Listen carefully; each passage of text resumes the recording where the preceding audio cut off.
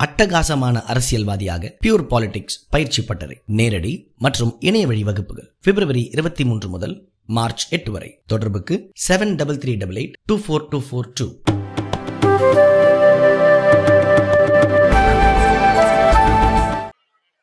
இந்த பகுதியிலே விசத்தறிகள் நிறைந்த பகுதி நூற்பாலைகள் நிறைந்த பகுதி பயன் தொழில் நிறைந்த பகுதி இப்படி தொழில் இறந்த பகுதியிலே கடுமையான மின்கட்டண உயர்வால் இந்த தொழில் படுபாதாளத்துக்கு சென்று விட்டது.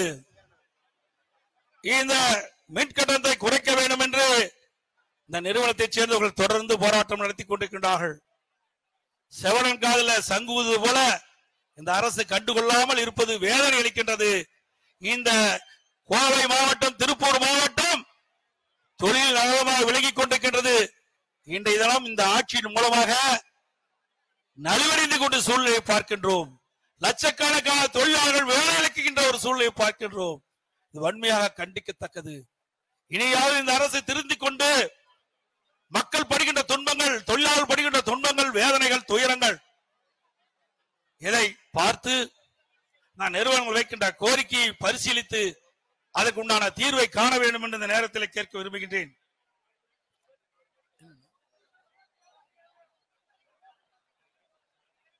அது மட்டுமல்ல இன்னைக்கு திருப்பூர் என்று சொன்னாலே அந்நிய செலவாணியை ஈர்க்கின்ற ஒரு நகரம். அந்நிய செலவாணி ஈட்டி தரும் திருப்பூர் நகரம். அந்த திருப்பூர் மாநகரத்திற்கு சுமார் சிட்டத்தின் மூலமாக நிறைய திட்டங்களை நிறைவேற்றி கொடுத்தோம். ஆனால் இந்த வெடியா திமுக அரசு ஒரு துரும்பை கூட கிள்ளி போடவில்லை. இதுதான் இன்றைய நிலை.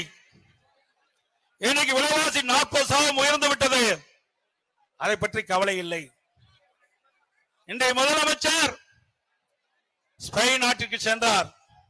பதினோரு நாட்கள் தங்கி இருந்தார் அந்த பதினோரு நாட்களில் தொழில் முதலீட்டு ஈர்ப்போம் என்று செய்தி வெளியிட்டார்கள். அந்த மூன்று நிறுவனத்தைச் சேர்ந்தவர்கள் புரிந்துணர்வு ஒப்பந்தம் போட்டதாக ஊடகத்தின் வாயிலாக செய்தி.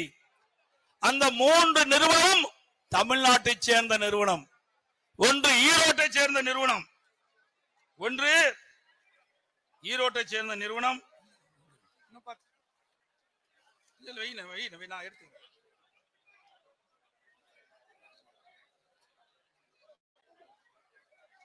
மூன்று நிறுவனம். ஒன்று எடிபான். இரண்டாயிரத்தி பதினொன்னுலயே இந்த நிறுவனம் ஆரம்பிக்கப்பட்டு இந்தியாவில் செயல்பட்டு கொண்டிருக்கின்றது. இந்த நிறுவனம் சென்னை திருச்சியில் இருக்குது. ஐநூத்தி நாற்பது கோடி. இரண்டது ஹைபாக் லைட். ரெண்டாயிரத்தி மூணுல தூத்துக்குடியில ரெண்டாயிரத்தி ஐநூறு கோடியில அந்த திட்டத்தை துவங்குவதாக அறிவிச்சிருக்கிறாங்க. ரோகா ரெண்டாயிரத்தி பதினேழு அந்த நிறுவனம் இருக்குது. விஸ்தரிப்பு செய்வதாக அந்த நிறுவனம் பெருந்துறையில இருக்கின்ற நிறுவனம். நானூறு கோடி. இது மூலம் மூன்றுமே தமிழ்நாட்டை சேர்ந்த நிறுவனங்கள். ஒரு மாதத்திற்கு முன்புதான் திரு ஸ்டாலின் சென்னையில தொழில் முதலீட்டர் மாநாட்டை நடத்தினார். அந்த மாநாட்டுக்கு இந்த தமிழ்நாட்டில் இருக்கின்ற மூன்று நிறுவனங்களையும் அழைத்து புரிஞ்சுணர்வு ஒப்பந்தம் போட்டிருக்கலாம். ஆனா இவர் ஸ்பெயின் நாட்டிற்கு செல்ல வேண்டும் என்ற ஒரே காரணத்திற்காக இங்கே தமிழ்நாட்டில் இருக்கின்ற மூன்று நிறுவனங்களையும் ஸ்பெயினுக்கு சென்று அங்கே புரிந்துணர்வு ஒப்பந்தத்தை போட்டு ஒரு நாடகத்தை அரங்கேற்றிய தலைவர் தான் திமுக தலைவர் இன்றைய முதலமைச்சர். ஸ்டாலின். ஆனா அவர் தொழில் முதலீட்டை ஈர்க்க போகவில்லை. தொழில் முதலீடு செய்ய போயிருக்கார் என்று மக்கள் பேசிக் கொண்டிருக்கின்றார்கள். உண்மையிலேயே நீங்கள் இந்த மூன்று நிறுவனம் புரிந்துணர்வு ஒப்பனம் போட வேண்டும் என்று நினைத்திருந்தால் இந்த மூன்று நிறுவனமும் தமிழ்நாட்டைச் சேர்ந்தவர்கள். ஒரு மாதத்திற்கு முன்பு சென்னையில் நடைபெற்ற தொழில் முதலீட்டார் மாநாட்டிலேயே இவர்கள் அழைத்து புரிந்துணர்வு ஒப்பந்தம் போடப்பட்டிருக்கலாம். அதுக்கு மாறாக நீங்கள் ஸ்பெயினுக்கு செல்ல வேண்டும் என்ற ஒரே காரணத்திற்காக ஒரு மிகப்பெரிய நாடகத்தை அரங்கேற்றுகிறார் என்று மக்கள் பேசிக் கொண்டிருக்கின்றார்கள். அதே போல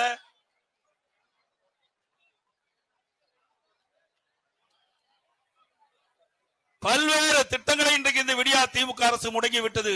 தாலிக்கு தங்கம் முடங்கி போச்சு. கொடுக்குறாங்களா? இதுதான் திமுகவுடைய சாதனை. நம்முடைய மாணவ செல்வங்கள் அரசு பள்ளியிலே படிக்கின்ற மாணவ செல்வங்கள் மடிக்கணி ஐம்பத்தி ரெண்டு லட்சத்தி முப்பத்தி ஓராயிரம் பேருக்கு மடிக்கணினி கொடுத்தோம். ஒரு லட்சம் ரெண்டு லட்சம் இல்லைங்க. ஐம்பத்தி ரெண்டு லட்சத்தி முப்பத்தி ஓராயிரம் மாணவ மாணவிகளுக்கு அறிவுபூர்வமான விஞ்ஞான கல்வி கிடைக்க என்பதற்காக. ஒரு மடிக்கணினி பனிரெண்டாயிரம் ரூபாய் மதிப்புள்ள மடிக்கணியை ஏழாயிரத்தி முன்னூத்தி இருபத்தி ரெண்டு கோடி ரூபாய் செலவு செய்து நம்முடைய மாணவ செல்வனுடைய நிலையை உயர்த்த என்பதற்காக திட்டத்தை கொண்டு வந்து நிறைவேற்றிய அரசாங்கம் அண்ணா திமுக அரசாங்கம். அதையும் முடிக்க அதையும் முடக்கிய பெருமை திராவிட மாடல் ஆட்சிக்குத்தான் சேரும். அதே போல கற்பனை தாய்மார்களுக்கு ஆறாயிரத்திலிருந்து பன்னெண்டாயிரம் பன்னெண்டாயிரத்திலிருந்து பதினெட்டாயிரம் உயர்த்தி வழங்கிய அரசு அண்ணா திமுக அரசாங்கம். அதுல மட்டும் இருபத்தி ஏழு புள்ளி ஏழு ஒன்பது லட்சம் கற்பனை தாய்மார்கள் பயனடைந்தார்கள். இதெல்லாம் ஒரு வரலாற்று சாதனை. அதே போல பதினாறு புள்ளி ஒன்னு ஏழு லட்சம் கற்பனை தாய்மார்கள் ஈன்றெடுத்த அந்த குழந்தைகளுக்கு அம்மா குழந்தைகள் நல பட்டு நல பெட்டகம் என்ற அற்புதமான திட்டத்தை கொண்டு வந்து அமுல்படுத்திய அரசாங்கம் அண்ணா திமுக அரசாங்கம். இப்படி பார்த்து பார்த்து திட்டங்களை வழங்கிய ஒரே அரசாங்கம் அண்ணா திமுக அரசாங்கம் தான் அதே போல கோயம்புத்தூரிலே மெட்ரோ ரயில் திட்டத்தை கொண்டு வருவதற்கு நடவடிக்கை எடுத்த அரசாங்கம் அண்ணா திமுக அரசாங்கம்.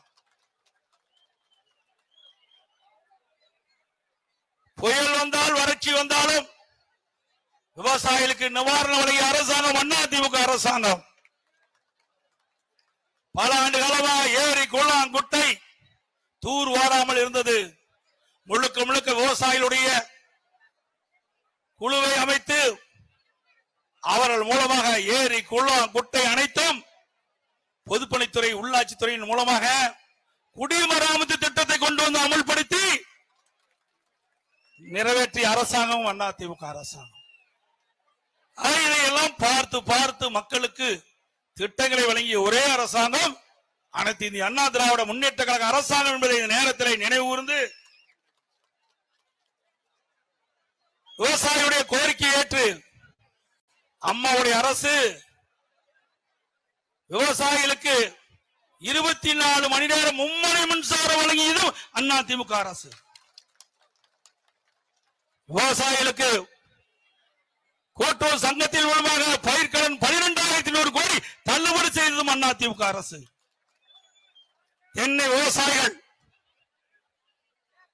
பாதிக்கப்படுகின்ற பொழுது மத்திய அரசிடம் குரல் கொடுத்து அவளுக்கு நியாயமான விலையை பெற்று தந்தது அதிமுக அரசாங்கம். அதே போல விவசாயிகள் கோரி தென்னை விவசாயிகள் கோரிக்கை நீராபாலம் தயாரிக்க வேண்டும் என்று அந்த கோரிக்கையும் நிறைவேற்றப்பட்ட அரசாங்கம் அண்ணா அரசு. இன்றைக்கு விவசாய பொருடைய மக்கள் தென்னை விவசாயிகள் கடுமையான விலை வீழ்ச்சியில் இருந்து கொண்டிருக்கின்றார்கள் அந்த வீழ்ச்சியிலிருந்து மீள என்பதற்காக ரேஷன் கடையிலே தேங்காய் எண்ணெய் விற்பனை செய்ய வேண்டும் என்று கோரிக்கை வைத்தார்கள் இந்த அரசு கனியோடு பரிசீலித்து அதையும் நிறைவேற்றப்பட வேண்டும்.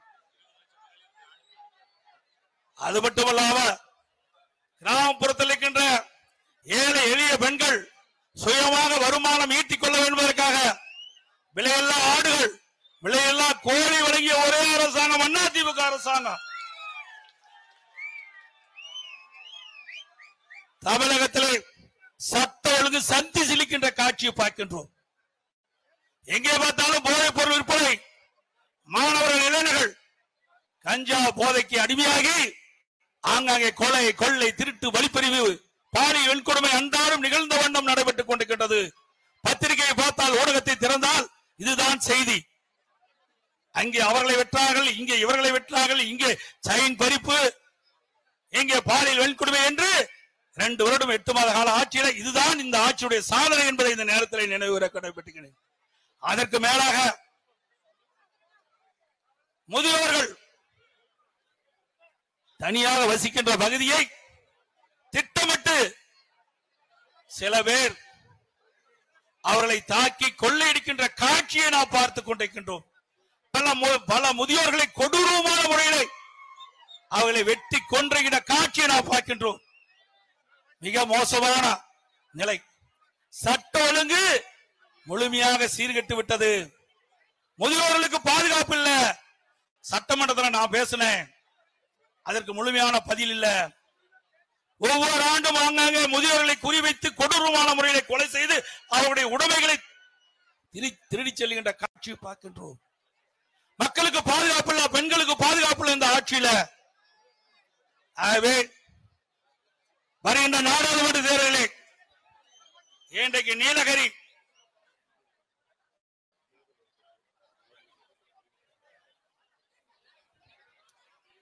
நாடாளுமன்ற தேர்தல் வர இருக்கின்றன. ஏற்கனவே இரண்டாயிரத்தி பத்தொன்பது நாடாளுமன்ற தேர்தலிலே திமுக தேர்தல் அறிக்கை வெளியிட்டார்கள். இரண்டாயிரத்தி இருபத்தி ஒன்னு சட்டமன்ற பொதுத் தேர்தலும் போது திமுக தேர்தல் அறிக்கை வெளியிட்டார்கள். இந்த இரண்டு தேர்தல் அறிக்கையிலும் குறிப்பிட்டவாறு அந்த தேர்தல் அறிக்கை இதுவரை நிறைவேற்றப்படவில்லை முழுமையாக. இரண்டாயிரத்தி இருபத்தி ஒன்னு சட்டமன்ற பொதுத் தேர்தலும் போது சுமார் ஐநூத்தி இருபது தேர்தல் வாக்குறுதிகளை திமுக தலைவர் திரு ஸ்டாலின் அறிவித்தார். இதுவரை நிறைவேற்றப்பட்டதா? இல்லை. மகளிர் உரிமை தொகை அனைத்து குடும்ப தலைவர்களுக்கு வழங்கப்படும் மாதந்தோறும் ஆயிரம் ரூபாய் என்று சொன்னார். வழங்கவே இல்லை. ஒன்றை ஆண்டு காலம் காலத்தை தழுத்தினார் இரண்டு ஆண்டு காலம் நிறைவு பெறுகின்ற பொழுது நான் இரண்டு முறை சட்டமன்றத்தில் நான் பேசிய போதும் எங்களுடைய சட்டப்பேரவை உறுப்பினர்கள் பேசுகின்ற பொழுதும் திமுக கொடுக்கப்பட்ட வாக்குறுதி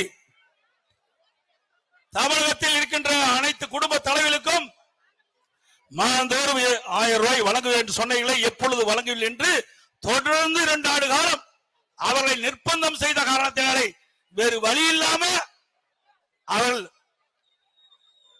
குடும்ப தலைவிக்கு ஆயிரம் ரூபாய் உரிமை தொகை வழங்குவதாக அறிவித்தார்கள். பல்வேறு விதிகளை விதித்தார்கள். தேர்தல் அறிவிப்பிலே அனைத்து குடும்ப தலைவர்களுக்கும் மாதந்தோறும் ஆயிரம் ரூபாய் உரிமை தொகை வழங்கப்படும் என்ற அறிவிப்பு. ஆனால் ஆட்சிக்கு வந்த பிறகு தகுதியின் அடிப்படையில் தான் குடும்ப தலைவிலை தேர்ந்தெடுத்து மாதந்தோறும் ஆயிரம் ரூபாய் வழங்கப்படும் என்று மூணில் ஒரு பகுதி தான் இன்றைக்கு உரிமை தொகை வழங்கி ஆட்சிக்கு வரும்போது ஒரு பேச்சு ஆட்சிக்கு வருவதற்கு முன்பு ஒரு பேச்சு ஆட்சிக்கு வந்த பிறகு ஒரு பேச்சு. இதுதான் திமுகவுடைய ரத்த வேடம் என்பதை மக்கள் உணர்ந்திருக்கின்றார்கள். அதே போல நகர பேருந்தில் பெண்கள் பயணம் செய்தால் கட்டணமில்லாத பயணம் செய்யலாம் என்ற அறிவிப்பை வெளியிட்டார்கள். தமிழ்நாட்டில் இருக்கின்ற அனைத்து நகர பேருந்துகளிலும் மகளிர் கட்டணம் இல்லாமல் பயணம் செய்யலாம் என்று. இப்பொழுது என்ன நடந்து கொண்டிருக்கின்றது? அந்த பேருந்துக்கு முன்பும் பின்பும் பிங்க் கலர் பெயிண்டை அடித்து அந்த பேருந்தில் மகளிர் ஏறினால்தான் கட்டணம் இல்லாமல் பயணம் செய்யலாம். மற்ற நகர பேருந்தில் ஏறினால் கட்டணம் செலுத்த வேண்டும் பெண்கள். ஆகவே மக்களை எல்லாம் எம்பட்டி ஏமாற்றுகிறார் என்பதை நீங்கள் எண்ணி பாருங்கள். ஏமாற்றுகின்ற ஒரே மக்களை ஏமாற்றுகின்ற ஒரே கட்சி திமுக கட்சி ஒண்ணுதான்.